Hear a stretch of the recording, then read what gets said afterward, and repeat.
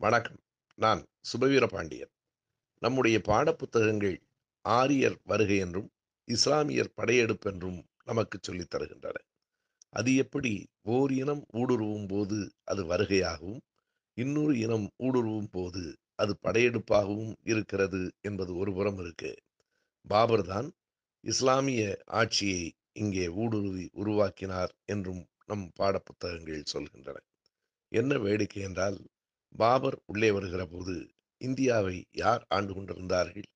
எந்த தில்லி சுல்தானை அவர் வீழ்த்தினார்?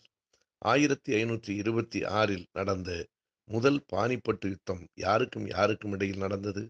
பாபருக்கும் இப்ராஹிம் கான் லோடிக்கும் தான் நடந்தது.